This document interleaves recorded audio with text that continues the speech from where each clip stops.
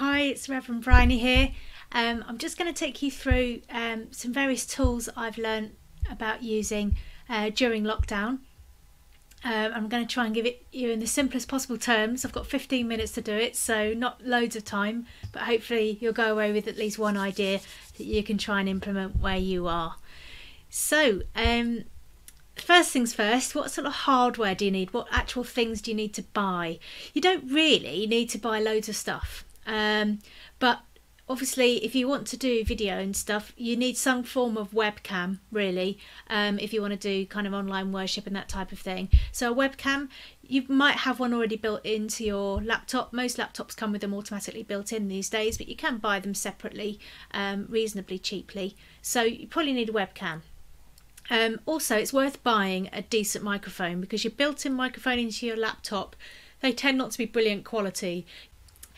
The microphone in your mobile phone, however, is quite a good microphone. So if you can't afford to buy a USB microphone, you might want to do most of your audio recordings in particular using your mobile phone instead. Um, but my microphone that I've got that I'm using to do this on um, is an Audio Technica one. I think it was about £70. It wasn't massively cheap, but it has been really useful and I've used it loads. It's really good for like Zoom calls and that kind of thing as well. Um, and you might well want to buy some form of stand for your um, laptop or your mobile phone, like a little tripod or something like that. Again, you can buy those quite cheaply because lots of people make TikTok videos and YouTube videos and stuff at home. So you can get tripods quite simply and easily. Ones with cameras with um, lights on them as well. I haven't got one of those, as you can tell, because I'm in the dark right here. but you can get ones with with lights so that you look a bit more. They're a bit more flattering on the face. So they're just some of the bits of hardware you might want to think about getting. So what sort of software do you need to get? Well, you definitely need some kind of video editing software. Now, if you've got a Mac, you'll automatically have iMovie on your Mac. That's pretty good. Um, if you've got a, um, a PC, um, you may have Windows Movie Maker built in, uh, which is okay. It's a little bit clunky, but it's an all right video editing tool. Um, if you want something slightly better than that, you can get download for free a thing called OpenShot, and that's quite a good um, free video editing bit of software. So OpenShot's a good free one. You need some form of audio recording software. Now, I've been using Audacity for years. It's absolutely free. It's a brilliant piece of free software. Uh, lots of people use it. Um, so Audacity. So I'd download that if I were you. Um, and the last thing that I've been using that I've literally only learned in the last sort of two months how to use, but I'm using it every week now for all my online stuff, is something called OBS Studio, which stands for Open Broadcast Software. So it's basically free software for broadcasting. So um, that's a free download and again is a brilliant bit of kit and you can do really professional looking um, stuff with it. So it's really good. So I'd recommend that. So they're the bits of software that you probably want to have before you get going with any of these things I'm going to be talking about. Um, online tools as well. Um, something I used right at the beginning of lockdown, which I've kind of stopped using now because I've discovered OBS. Um, but another tool that's quite useful is something called Screencast-O-Matic, which is totally free, which will actually make a video recording of anything that you've got on your computer screen so you can do like instructional videos and things like that with it. Um, as I say I'm using OBS now instead of Screencast-O-Matic but if you, if you just want to get started with something I would probably start there. If you haven't used any of this stuff before that one's actually really easy to use and really good. Um, another online one that somebody drew my attention to is something called Auphonic.com and that will do post production on any audio recordings you have. And I'm going to be talking shortly about how you do dial a sermon, um, so how you can kind of upload a sermon online and then people can ring a phone number to listen to that sermon. And I've discovered, of course, when you listen to things over the telephone, it needs to be quite loud and quite good quality audio. So put so uploading your MP3 to Auphonic, they will do post production on it for you um, and make sure all the leveling's right and they'll kind of cut out any background noise and that sort of thing. So it's really good. And you can do that not just with MP3s, but you can do it with videos as well. So sometimes you might want to put through your entire church service that you've that you've prepared on a Sunday so that all the audio is kind of equalized across the whole production. So auphonic.com is really good. Um, another free tool um, is a podcasting app called Anchor. Uh, so it's an app that you can download onto your iPhone or your um, Android phone, um, and it's also web based as well. Um, and you can make really professional sounding podcasts. And what's really good about that is that it has some a music library that's free, so you can put like funky little background music um, on, on your podcast, so it sounds like sounds like a posh podcast and it's really easy to use and you can do it all via your mobile phone. So that's one if you haven't got a very good laptop and you want to get into this sort of stuff i would start with anchor and that's where i started right back at the beginning of lockdown. That was the first thing i did was a daily prayer podcast using anchor. So that's an, another tool. And finally um, if you want to set up dial a sermon i'm sure there are other ways of doing it but i don't know what they are. Um, but i learned to set up um, my dial a system using something called twilio um, and and that does have a small cost attached to it. it cost me 20 pounds to set up i haven't had to top up my 20 pounds yet um, it's been going strong so i think it will probably work out about 20 pounds a year to run that system. Um, and there's information on how to set up Twilio um, on my blog, and there's a link about that at the end. So they're the different tools that you might want to use. So, just some simple ways to record and share audio. Simplest way, if you've got a mobile phone, um, and many of you will be aware of um, of WhatsApp. So um, you can you can use WhatsApp as, as a voice recorder on your on your phone. Um, so, a simple way to do it is you could set up a WhatsApp group for your church and you could record a sermon on WhatsApp and send it to them all. That would be really, really straightforward. So that, but that would obviously only only reach those people that are in that group on WhatsApp. But that's a really simplest way to do it. You can also get people from your church to send recordings to you or videos to you via WhatsApp. Um, so you might say, you know, would you rec- record some prayers for us for the service this week, and they can send them to you via WhatsApp. That's how I do my pre-recorded services. I get different people to do the Bible readings and the prayers, and they usually send me the recordings via WhatsApp. Because if you look at the bottom of the screen there, you'll see a little icon with microphone on it. If you hold that down, that will record your voice, and then you can send it. Um, and then usually what I do is when the recording pings through to me on my on my mobile, I email that recording to myself, and then I can fiddle around with it and edit it and do what I want with it. Um, so WhatsApp's a great little tool. Um, very straightforward way of doing some audio recordings. I've already mentioned the Anchor app, um, so you can record a podcast, um, and I do a daily prayer podcast um, so I do morning prayer each day and I just record it uh, using Anchor and then just press publish on my phone and, and it's there done and dusted. And you can actually edit edit what you've recorded on your phone. It's really easy to use app um, and it's absolutely brilliant. And the good thing about Anchor is over time it will begin to publish your podcast. The more episodes you create, it will publish it to various different places online. So I just got a notification this week. I've been on it for three months, so quite a long time. Um, but I got a notification this week that it's now available on the Apple Podcasts app.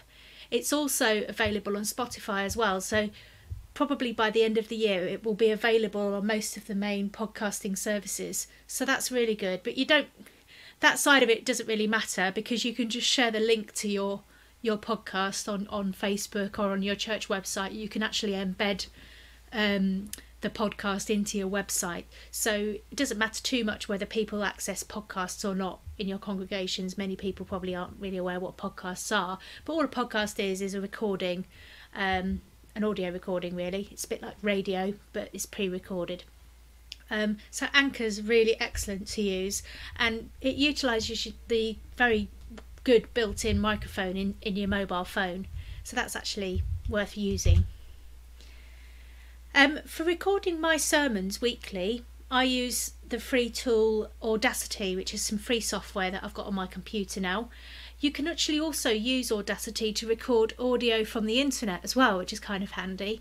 Um, so that's quite a useful tool. So Audacity is really good for making recordings, and you can edit the recording in Audacity. So you can cut out sort of if somebody coughs or something like that, you can cut out the cough um, just using the simple um, little scissors icon to cut out that part of the recording. Um, and it's a free tool, and there are plenty of there's there's quite good built-in help facility to teach you how to edit and all that sort of thing. And there's plenty of videos on YouTube that show you how to do it as well. So Audacity is brilliant for recording audio. So I thought I would just show you a couple of things about how I do do these things. I know people have been asking questions about how how do you set up dial a sermon systems. Um, so what I do uh, is I record the sermon using Audacity. I add in a message at the beginning and the end for for those listening on the phone. So at the beginning of the recording, I'll do a little thing saying, "Hello, you've reached the dial a sermon system from the parishes of Barlborough and Clowne," just so that when the person rings through to the number, there might be an elderly person, they might think, "Have I got the right number?" and they hear my voice and they know they've got through. Um, and then the, and then I'll say, "Coming up is the sermon that was given this week," and I'll give the date and everything like that. Um, so I record all of that message and once I'm happy with with the whole message and that includes the sermon and everything, um, I then on Audacity click export audio as MP3. So then I've got my MP3. Then what I do is I upload that MP3 file to auphonic.com for audio post production. So that will just take away any background noise and hum. Um, and I usually choose the loudest setting on that. Um, the one that's been that's pointed at here on the screen um, that's for podcasts and mobile there's there's a few higher than that that are louder than that i pick the absolute loudest one because that works really well over the phone so that's what i do next then once it's been through the auphonic thing you get an email telling you when your file's ready I download the file that's the final version of my mp3 for my dialer sermon and then I upload that to my website. And I've got a WordPress website, so you can see there's a screenshot here of uploading an audio file to my WordPress website. If you don't have a website or your website doesn't do that kind of thing, you can upload it to Google Drive or Dropbox or one of those kind of online storage places and just make the file public, and that will work as well. And then the final bit is to add the link to the uploaded MP3 to my Twilio function. Now, setting up Twilio, it is a little bit tricky, but um, Paul, who created the very first guide which I used to set up my Twilio, um, after lots of demand, partly because I tweeted his article left, right, and centre, um, he created a, a YouTube video that takes you through step by step how to do it. So, and once you've set it up, all you need to do each week is, is log into Twilio, go to your function in Twilio, um, and you'll see that there's a there's a link where it says play in brackets, and I just changed that to the correct link for this for the MP3 that I've just uploaded, and that's everything you need to do. Um, and so you ring the dialer sermon number, and you can listen to the sermon. So that's how I do that and this is what I sent out to my elderly congregation um, in the post. So they've got a little card they can stick on the fridge, and they can just ring that number whenever they want to to listen to this week's sermon. What about pre-recording?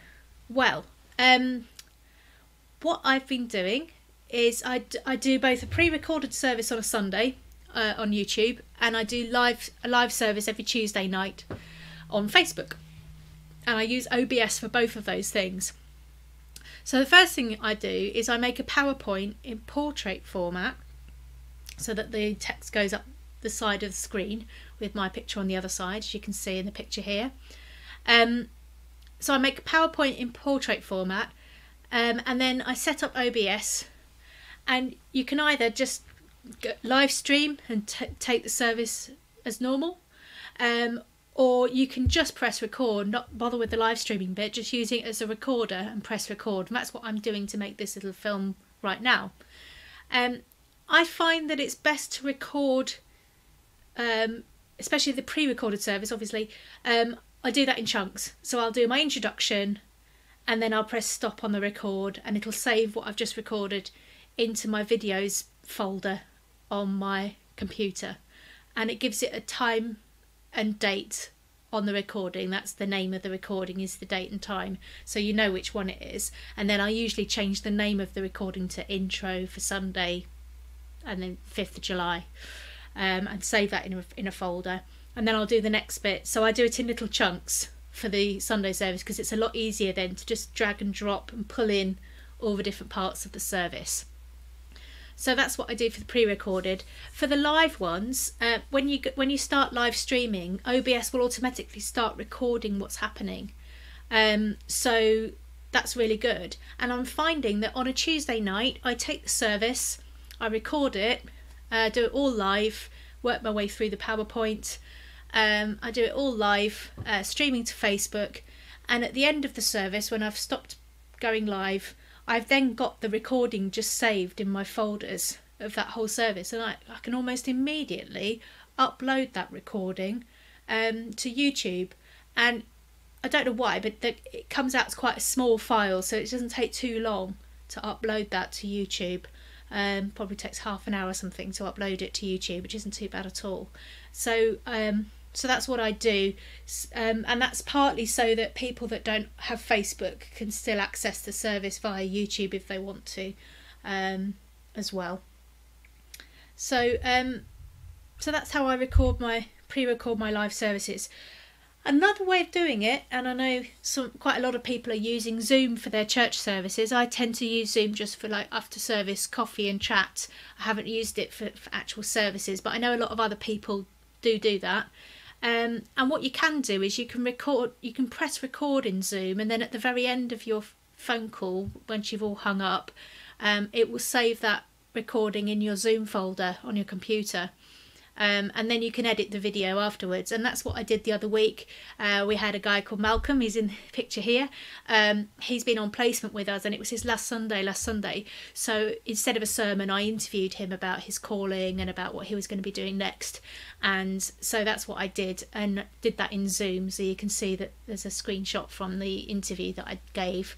So that's another way of doing it as well, is to record everything in Zoom, and then and then you can either just upload the whole I wouldn't probably just upload the video straight to YouTube. I'll probably edit it a little bit first and then upload it uh, to YouTube or Facebook or wherever you keep your videos online.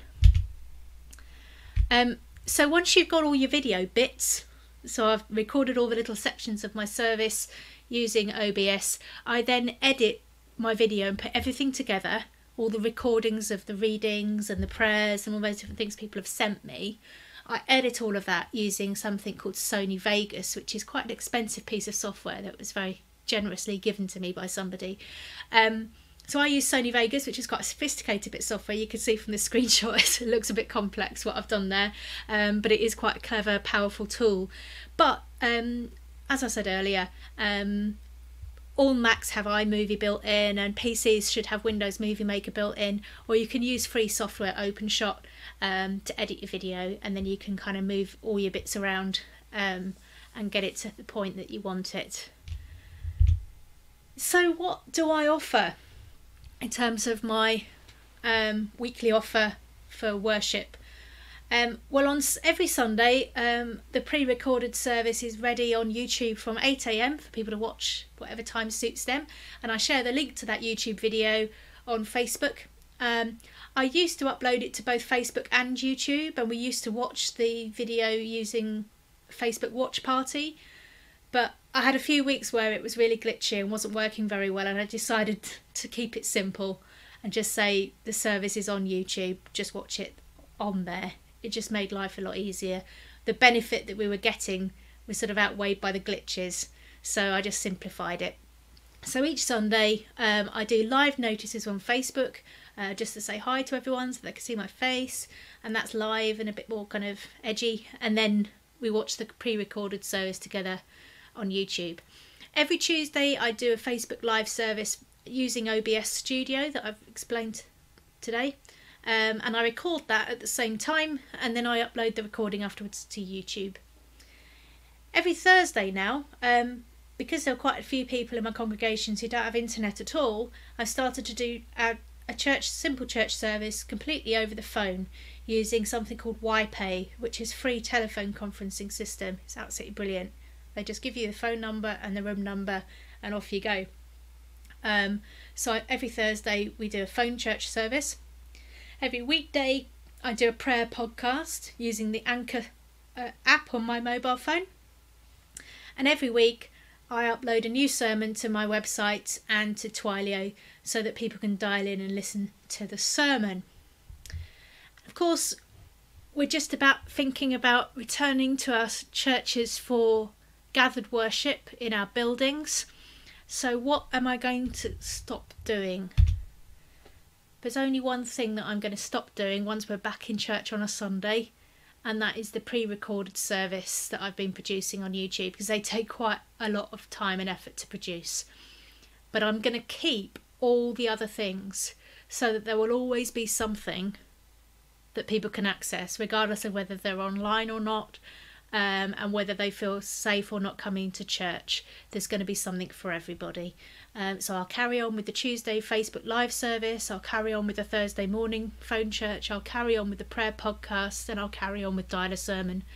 So, really, what I've learned during this period is that. Um, inclusivity is kind of the way forwards really we should have always been doing all this inclusive stuff and i'm hoping that we can keep going with all of that you might have been watching that thinking oh my goodness how on earth could i do all of that well i've i've put detailed guides on how to do all of those things and more on my blog so if you go to bryonytaylor.com you'll see along the top of the screen there's a there's a a, a link that says coronavirus help if you click on that, you'll find articles and, and videos and stuff and guidance on how to do all of those things I've talked about.